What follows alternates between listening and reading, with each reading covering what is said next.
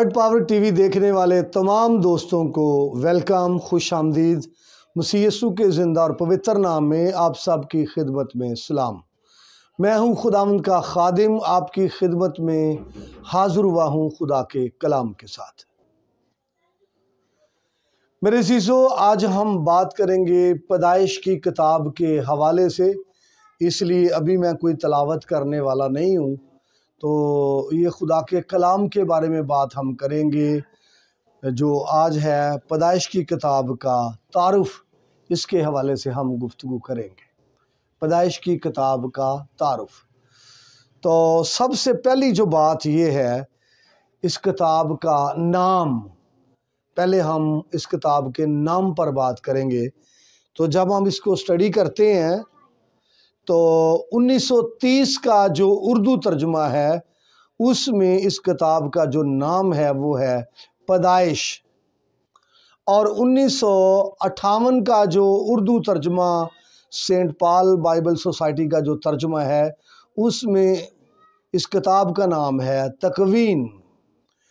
اور عبرانی زبان میں جو اس کتاب کا نام ہے وہ ہے بریشیت اور بریشیت جو ہے، یہ عبرانی زبان میں اس کا نام ہے۔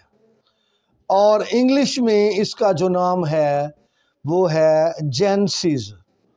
اور ہندی زبان میں اس کتاب کا جو نام ہے، وہ ہے اتپتی۔ اور یونانی زبان میں جو اس کتاب کا نام ہے، وہ ہے گینیسس۔ اور اس کتاب کے جب ابواب کی بات کی جائے تو اس کتاب کے کل ابواب پچاس ہیں۔ اور اس کتاب کی جو کل آیات ہیں وہ ہیں پندرہ سو تینتیس۔ اور اس کتاب کا جو کل الفاظ ہیں وہ اڑتیس ہزار دو سو ستاسٹھ ہیں۔ اور اس کتاب کا جو مرکزی باب ہے، وہ باب نمبر چوبیس ہے۔ اور اس کتاب کا جو مرکزی آیت ہے، وہ تیسرے باب کی پندرہویں آیت ہے۔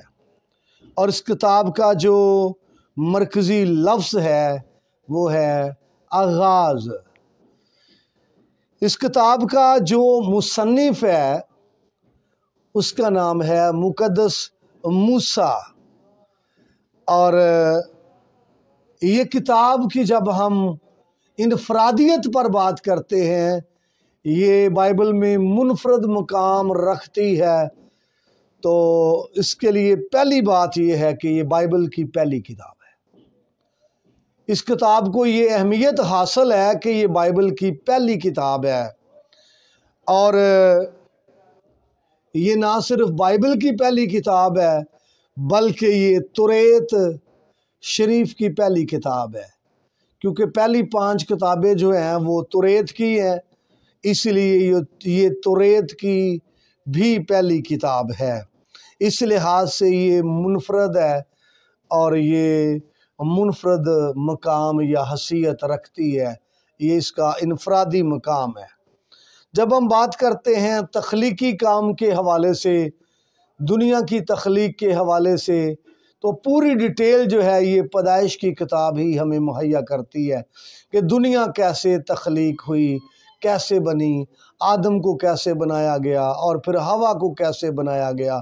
یہ ساری تعلیم اور سٹڈی اور معلومات پیدائش کی کتاب ہی ہمیں جو ہے یہ مہیا کرتی ہے۔ پیدائش کی کتاب کے تعارف میں یہ باتیں جو میں نے آپ کے سامنے رکھی ہیں، تو اس میں چند لوگوں کی کہانیاں اور سٹوریز ہیں جو ہمیں معلومات بائبل کے حوالے سے مہیا کرتی ہیں۔ آدم اور ہوا کی کہانی ہے، کائن اور حابل کی کہانی ہے نو کی کہانی ہے، اور پھر اس کے بعد آگے ابراہم کی کہانی ہے، پھر ابراہم کے بیٹے زہاق کی کہانی ہے اور پھر یعقوب کی کہانی ہے، اور پھر پھر یعقوب کے بارہ بیٹے ہیں، ان کے تلق سے ہے، اور پھر خصوصی طور پر یوسف کی کہانی ہے، اور بنی اسرائیل کی کہانی، اور مصر میں غلامی پر یہ کتاب ختم ہو جاتی ہے۔ اور یہ کتاب مسیح کے بارے میں ایک بڑی خوبصورت جو تصاویر ہے، وہ پیش کرتی ہے۔ مسیح کو ڈھونڈا جائے، اس کتاب کے اندر پڑھا جائے، دیکھا جائے، تو مسیح کی تصویر یہ جو ہے کتاب پیش کرتی ہے۔ یہاں پر ایک دریا ہے جو چار ندیوں میں تقسیم ہوا۔ یہ دریا یسو مسیح کو پیش کرتا ہے۔